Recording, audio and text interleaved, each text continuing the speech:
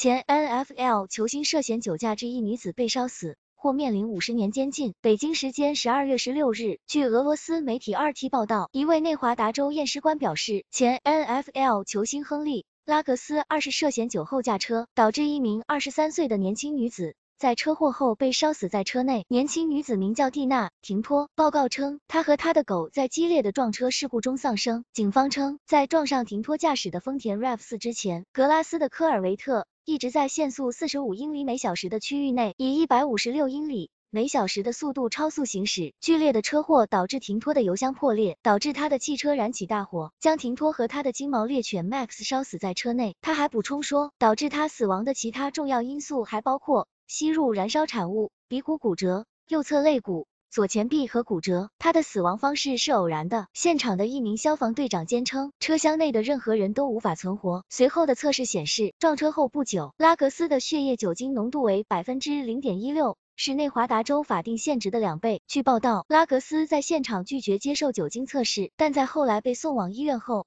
还是遵命照办了。据这场深夜车祸的目击者称，他们听到了从停拖车内传出的尖叫声，但由于大火和浓烟弥漫，他们无法尝试营救。拉格斯和他二十二岁的女友齐阿拉在车祸后均因不明原因的伤势而住院。拉格斯曾在阿拉巴马州度过了非常成功的学生时期，在二零一七年还赢得了全美冠军。此案初审定于三月十日举行。